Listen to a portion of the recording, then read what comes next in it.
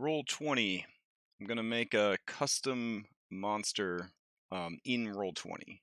Um, I was actually going to build a custom monster for like a build challenge that was going on in Discord, and I started using the tools, um, D&D Beyond and all that, and I was like, if I ever want to use this monster in a game, I'm going to have to do this in roll 20. So I figured, why don't I just build the monster in roll 20 to begin with? Um, so this is just going to be me showing you how I build monsters in roll 20. Uh, all right, so the first step is build a server for yourself, especially if you DM a lot, um, and call it like Monster Manual.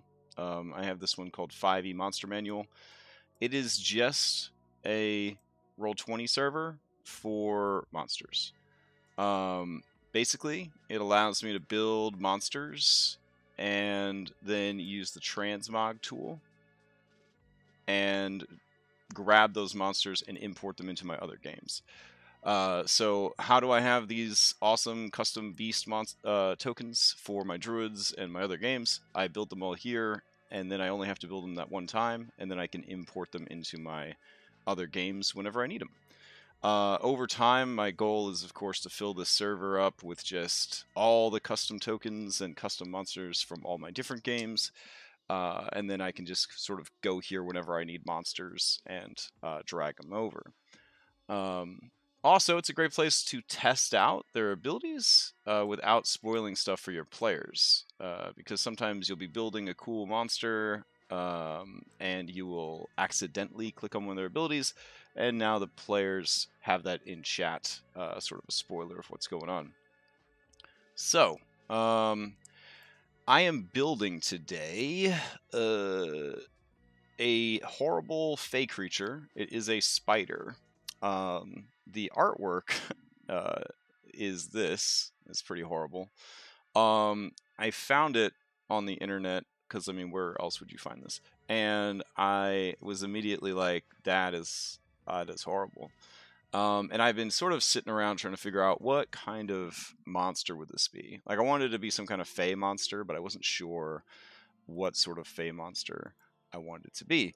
Um, so then I was playing uh, Indivisible, and the first, I guess, real big boss in Indivisible is a spider uh, and that spider is named Pindyar, I think. And Pindyar um, is the collector of limbs. It's a very Kingdom Death sounding monster.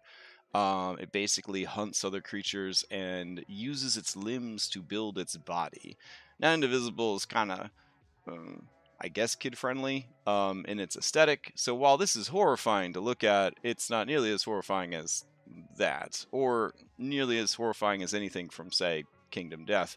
Um, but it got me thinking, like, yeah, all right, a spider like monster that steals limbs. Like that that's hype. Um, so I was like, okay, let's let's go ahead and do this. Um, so I went ahead and made myself a miniature. Let me save that out real quick. Let's see. Uh, Pindyar. There we go. And I like big monsters. I cannot lie. So I am going to make this big monster um, huge. Here we go.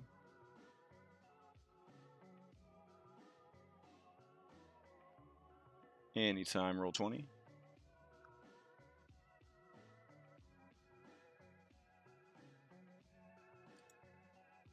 Mm, mm-hmm. There we go.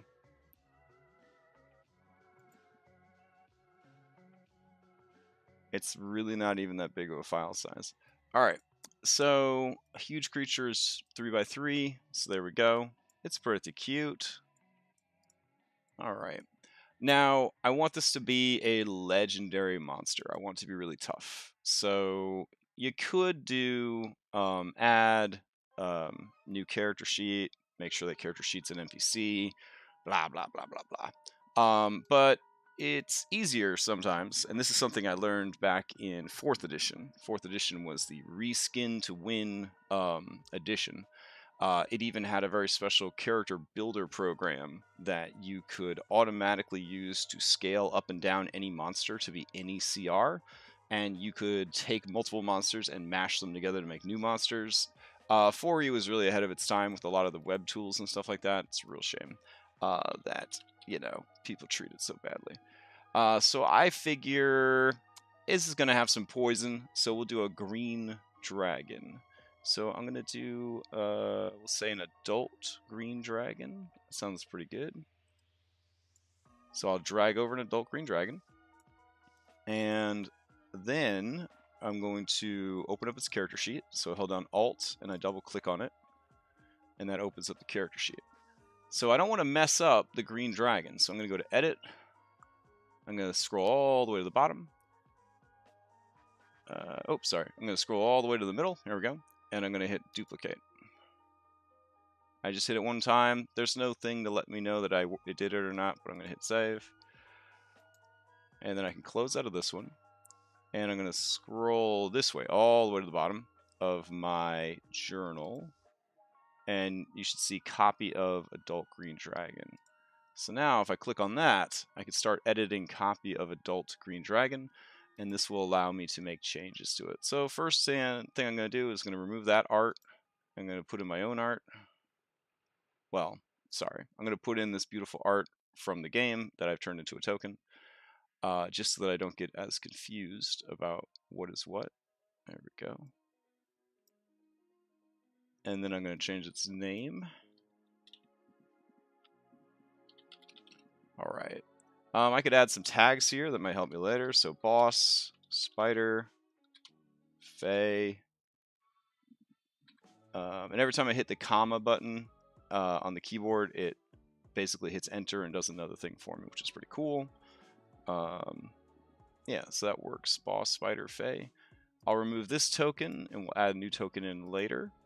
And then if I wanted to, I could clean up this bio section, hit my cursor down there, I hit Control A, delete everything.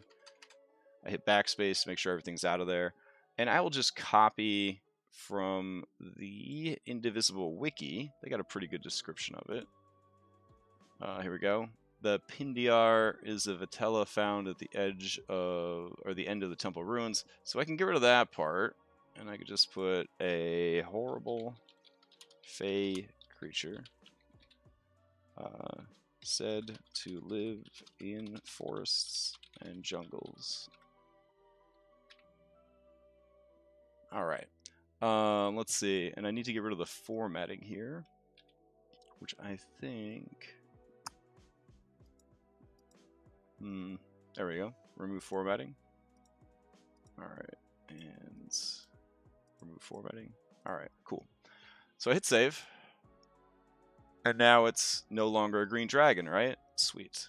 So now I can go to character sheet and I can start changing stuff out. There'll be a gear in the top, top right. If I click on that, I can change the name. And this is not a dragon anymore. It is a fae. And I would say this is not a lawful evil creature. It's probably more like a neutral evil creature because it really only cares about itself. Um, uh, armor, I feel like 19 is pretty generous. I mean, it's got a carapace or whatever, and it's but it's built out of like hodgepodge parts. So I feel like a 19 is definitely going to be too high. So I'm going to lower that to like a 15. Hit points and stuff, eh, you know, basically there is no right answer for this. If you're going to make this a solo monster, you're going to scale the hit points based on your individual group's DPS, or sorry, DPR, damage per round and um, size. So um, we'll just leave that alone for now. Uh, this creature cannot fly, but it would be pretty cool to give it a climb speed. Uh, climb speed should probably be equal to its walking speed, because it wouldn't make sense otherwise. Um, I would probably say this creature cannot swim. Alright, right now this thing is super strong. Um, 23 is really high. I don't think that's necessarily a bad thing. It is a huge creature. It has many, many arms and legs. Uh, so we could probably just leave that for now. Um, Constitution is beefy. That makes sense. It's made out of a bunch of other creatures. I don't really anticipate this thing being very smart. I mean, it's crafty, but uh, is it like a you know like a super genius? Is it is it uh, an 18? Probably not. So give it like a 12. Um, it is probably pretty wise. I guess wise would be more like crafty. So yeah, leave it there. Uh, charismatic. I mean, it steals body parts from people and is an ambush predator. I don't really think it worries about being too charismatic, but we'll lower that to a 12. Uh, that would, of course, cause a shift in um, these right here. You could see that based on its hit dice and all of that, it has a plus five uh, proficiency bonus to its saves, which is insane. Um, but only the ones that you grant it proficiency with. Now, dragons, of course, are very tough, so this has a lot of good saving throws here. Um, it would not be inappropriate uh, to give it a high charisma because uh, you don't want it to get banished too easily. And a wisdom is always nice because you don't want it to get janked up by all those different mind affecting spells and whatnot. So we can leave that uh, relatively high. So 16 is a plus 3, so that would put that at an 8. Uh, we'll leave intelligence alone. Uh, proficiency in constitution, eh, that makes sense. Uh, dexterous, it's a spider. Sure, that makes sense. So basically, we're still pretty dang tough as far as that goes. Deception, I don't think this guy's going to be, or girl or creature is going to be fooling anybody. Perceptive, it has stolen body parts, so it makes sense for it to have a bunch of eyeballs and stuff. So I could see that being a thing. Uh, let's see. It looks like they have it gave them expertise. I want to say, yeah. Um, so that would actually give it a 13 if we kept expertise, which is extremely generous. But hey, it's an ambush predator. Its whole life is about ambushing stuff. Uh, stealth, even though it's so big, a plus six is pretty funny. I mean, you're either going to have a group that will always see where everything is hidden or never see. Seems to be uh, how it goes. Um, you're like, there's always a chance you're going to have that uh, character that has a you know 24 passive perception and there are no surprises left, uh, sort of thing. All right, it's not persuasive. We'll keep insight because that's kind of cool.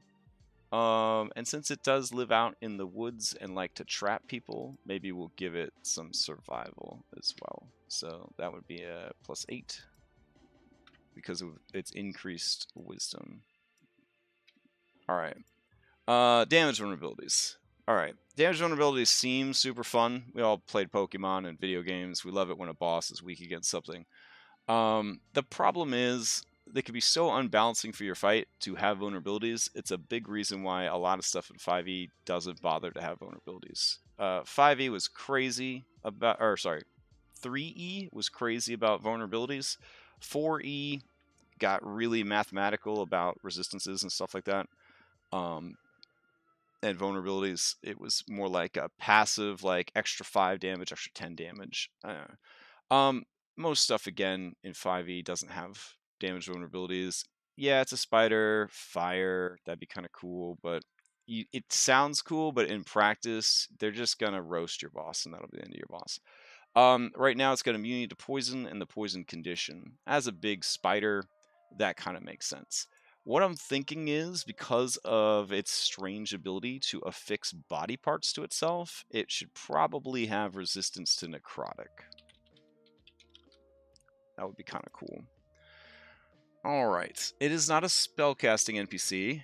Um, and uh, it doesn't have reactions, but if you have a group of five or more, you definitely want to give it reactions. Um, and we'll talk about that later. So I'm going to check that box on.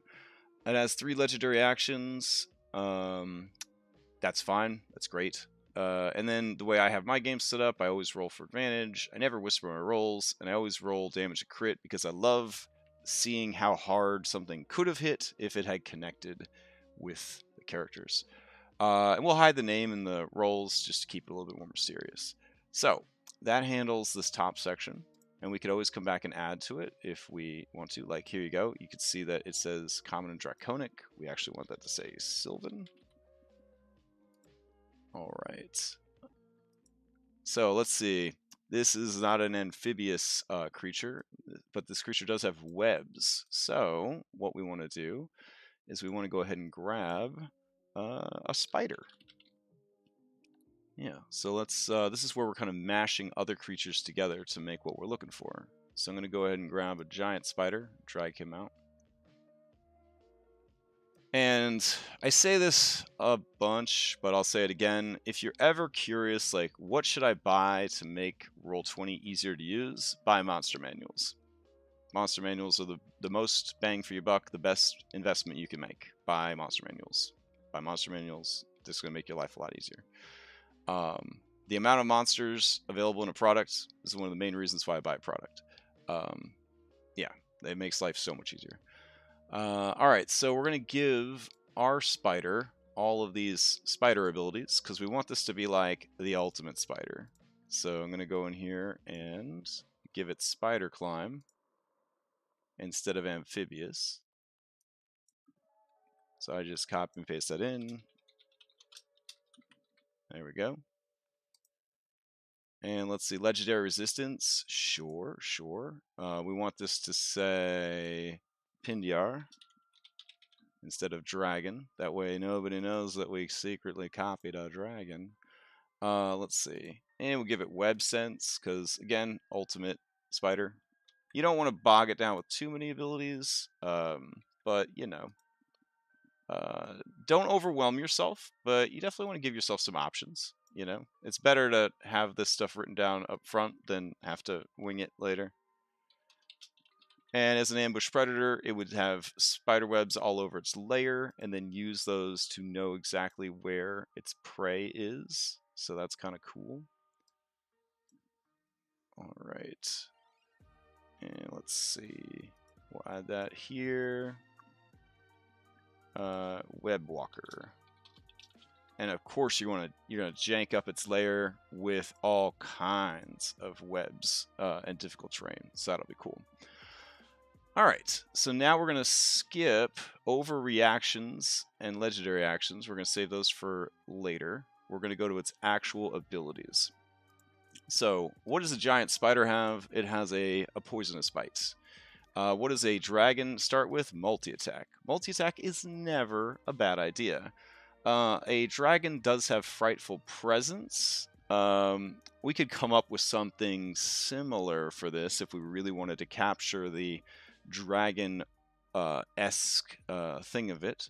But how about we do? Um, hmm, I want to keep it similar to the monster in the game. The monster in the game really didn't have a lot going on for it. It was like one of the earlier bosses. Um, yeah, it was able to just sort of jump around and everything. Uh, how about this? Uh, it could move a lot. So we'll say the Pindyar uh, can move up to its speed. Ooh, there we go.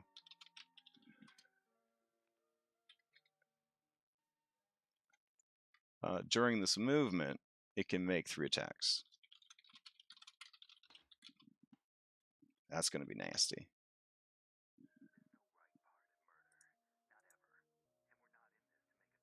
Uh, it can make three attacks.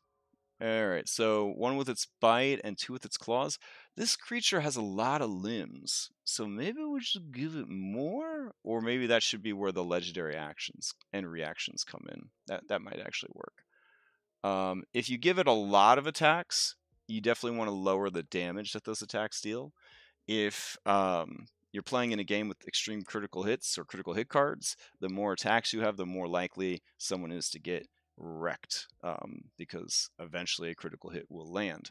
Um, so that's a tricky thing to, to, to figure out.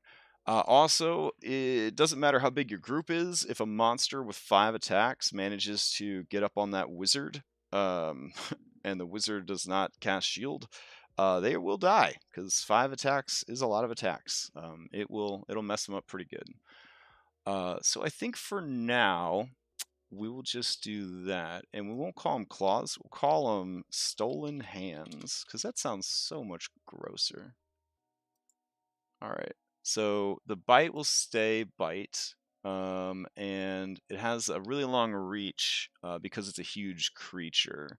Now, if you look at the artwork of the Pindyar, it does not look like it has a very long, stretchy neck. So we might say it does not have long reach with its bite. So we'll lower that. Uh, but I would like it to hit pretty hard. A 2d10 plus 6 is pretty insane. 2d6 poison. I like it. I like it. Let's see. What does the spider have to offer for poison? Uh, nothing fancy going on there. Uh, what about our friend the crypt spider? Let's uh, double click that to minimize it. You can still see it's there, but I minimized it by double clicking the top of it. A very cool feature of Roll20. Crypt spiders have a nasty ability uh, with their poison. Um, they can create zombies. Mm, that's hype. Um, I feel like a creature that steals limbs, though, isn't going to need to worry about that. And they can also cocoon prey. That's something that we want to steal. Because this creature currently does not have a bonus action. And generally with your bosses, especially with solo bosses, you want to give them every opportunity uh, you can to completely abuse their action economy. Uh, so there we go. As a bonus action, a Crypt Spider. So we'll say as a bonus action, uh, the Pindyar uh, can cocoon a creature with uh, within five feet that is currently restrained by webbing. A cocoon creature has disadvantage on ability checks and saving throws made to escape from the web. All right, I dig it. Uh, let's see. Then we will call this Stolen Hands. Oh yeah, I was looking for a poison that would be really good. I could have sworn like the spider when it bit you, you like couldn't do anything afterwards. I know that's like straight out of like Lord of the Rings, but I could have sworn the poison. Ah, here we go. Um, and the target must make. Here we go. All right, so let's go back to the bite before we continue with stolen hands. And the target must make a DC. What is the DC of the dragon's abilities? An 18. Good lord. All right. Uh, let's see. The target must make a DC 18 Constitution saving throw. And. Oh, wow. Okay. So we can remove that. No, we'll change it to be 2d8 poison up there. Okay, cool. Uh, if it's or half as much as successful. If the poison damage reduces the target zero hit points, the target is stable but poisoned for one hour, even after regaining hit points, and is paralyzed while poisoned this way. Ugh, that's going to be brutal. Okay, we'll leave it in. It's fantastic. All right. So now we've got a real nasty uh, bite ability. All right, so going on to stolen hands. Uh, stolen hands, they reach out, they grab you. I'm going to give that a 10 foot reach instead of the bite because I'm going to say the limbs are like uh, multiple joints and hands holding onto arms, holding onto more arms that stretch out. It's like really nasty. Um, let's see. I don't think they would do slashing because they're um, just hands. So we'll do bludgeoning. There we go. And I don't want it to do as much damage there, so we're going to drop that to 1d8. Yeah. Uh, with the caveat that um, if the Pindyar hits the same target with both or sorry, with two stolen hand attacks. That creature is grappled and restrained. Uh, and then the DC would be based on its strength, so DC 16.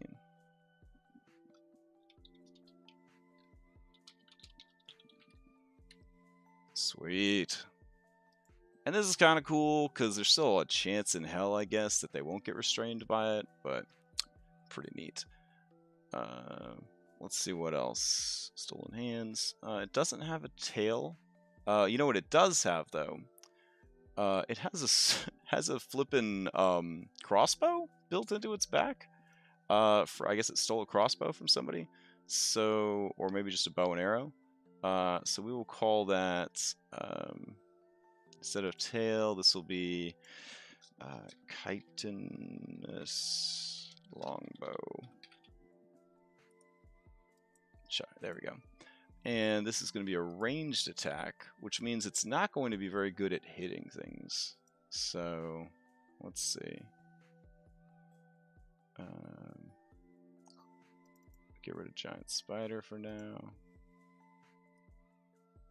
Yeah. His dexterity is only a plus one, whereas his other one's a plus six, and his proficiency is a five. So this chitinous longbow is only going to have a six to attack. Um, and it's only going to do 2d8 plus 1 piercing. And we technically need the reach for it. Um, let's see. Hobgoblin has a longbow built in, or you could just look it up in the, you know, compendium or the player's handbook, whatever. Uh, let's see. Hobgoblin. What's the range on that uh, sweet longbow? Jesus, 150 to 600 feet. Okay. Mm-hmm. All right, so we'll also have this do some poison damage as well. So it's nasty if it hits, but it may or may not hit. And I think we will go ahead and add that to its multi-attack. So the Pindyar can move its speed during this movement. It can make three attack, uh, so we'll say four attacks. Uh, one with its bite, two with its stolen hands, and one with its chitinous longbow. Alright. Oh, that's nasty. Alright. Uh, let's see. It doesn't have a frightful presence, so we can get rid of that. And it doesn't have a breath weapon, so we can get rid of that. All right, but it, you know what it does still need? It needs a web attack. So, so, let's see. Which of you has a good web attack? There you go. Web. Uh, let's see. On hit. That's all it says. Just on hit. Cool. Uh, let's see what this spider has to say. Okay, it also just says on hit. Uh, web, here we go. So, to add a new attack, I'll hit that plus sign that was right there. Just show you again. Okay, or not. There's a little plus right here. You can just click that and it'll add a new one. Uh, we're going to call this uh, web. And this spider will not need to recharge its web. It will just have webbing. And this is a ranged attack, so we click on attack, we go to range, and let's see. It's got a terrible dexterity, so this web is only at a plus 6 to hit, and it's only against one target. Uh, we'll give it, yeah, 3060 sounds fair for how far it could shoot it. It does no damage, uh, but the target is restrained by webbing. Alright, so we'll go ahead and put that information down here. Uh, so if they're hit, the target is restrained by webbing. As an action, the restrained target can make a DC, and we'll raise this to 16. Uh, strength check bursting from the webbing on a success. Uh, the webbing can also be attacked and destroyed. The AC is 10. And let's make this a little bit beefier webbing. So we'll raise that to like a 14 with 15 hit points. The vulnerability to fire, immunity to bludgeoning, poison, and psychic damage. Sweet. Alright, so far so good. This creature's looking pretty nasty. Now, we've got a bonus action they could use, and it's always good to remind yourself that it's a bonus action by labeling it real big. There you go. And I might even move that to the top of the list. There we go. Alrighty. So, um, legendary actions. What can this thing do for its legendary actions? Detect is pretty slick, just like a dragon, um, so it could kind of keep track of prey in its lair. Um, I would say that web would definitely be one. So uh, the uh,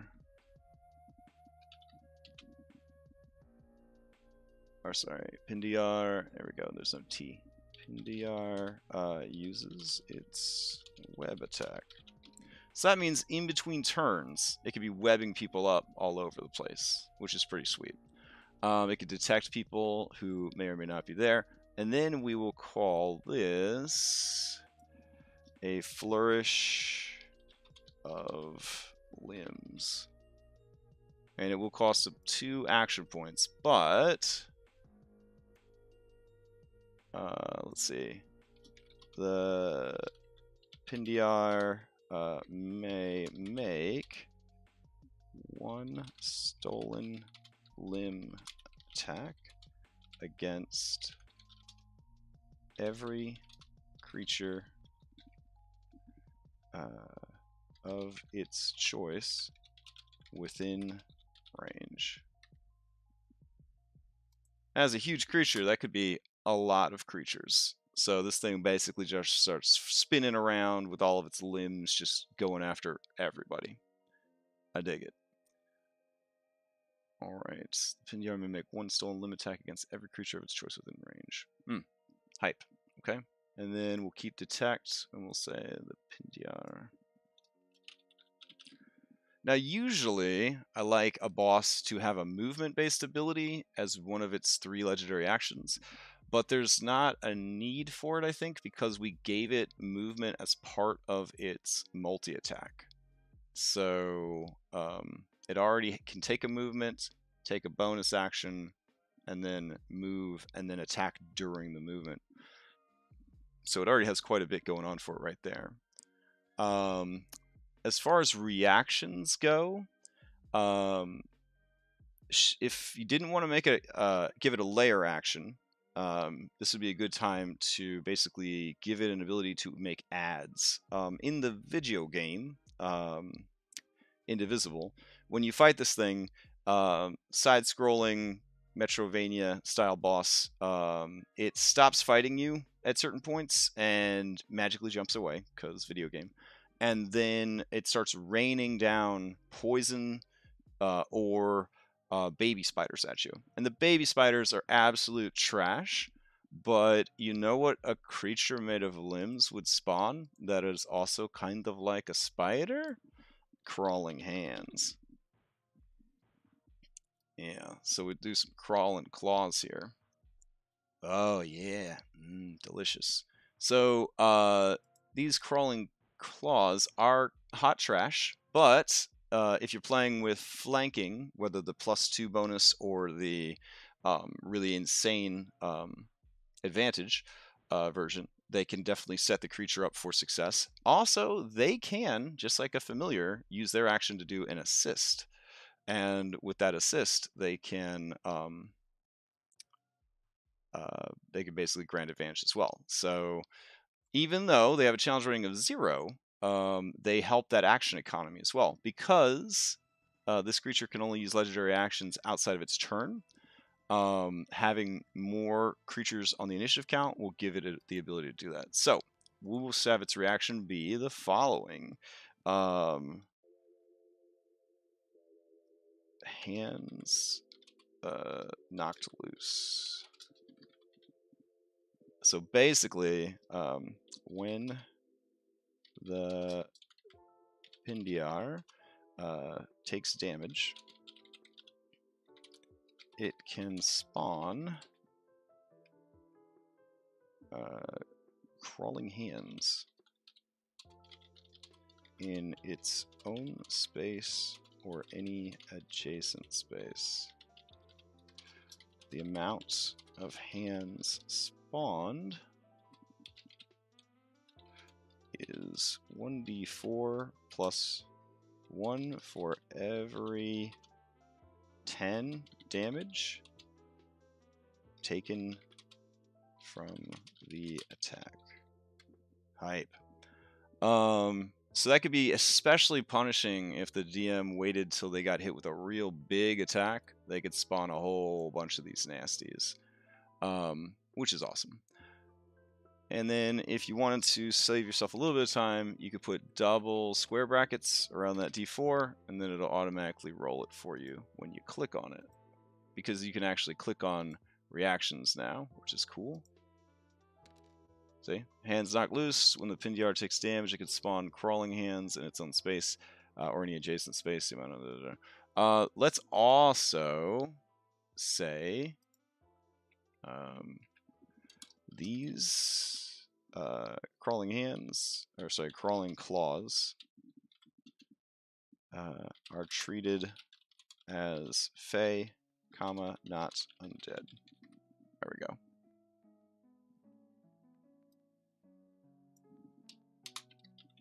I like it.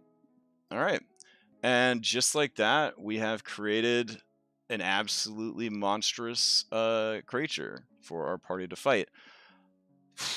Um, is the creature still a challenge rating 15?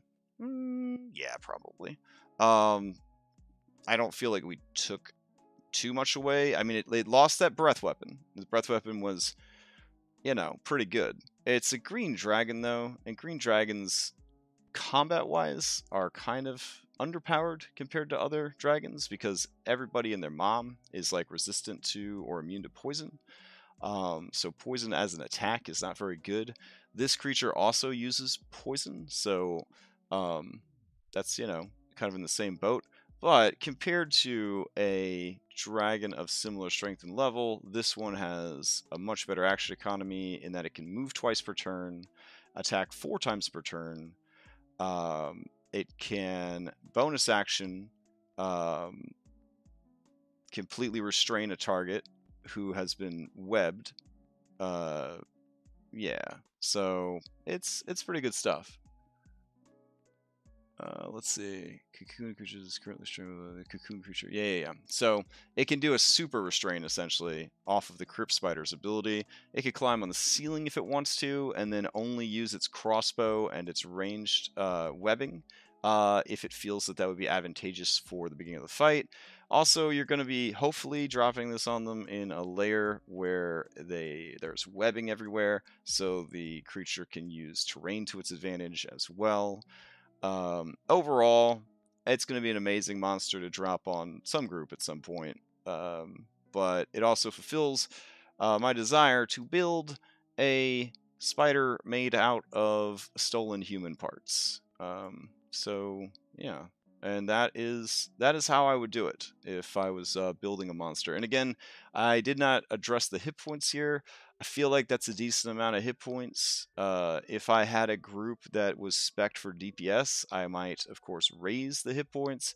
If I had a group that actually let their uh, party assassin assassinate things, and the party assassin could get past a passive perception of 23, which any decent assassin could, and they dropped an assassinate round on the creature, I would obviously want uh, ahead of time to have given the creature enough hit points to still be a boss monster after that whole fiasco.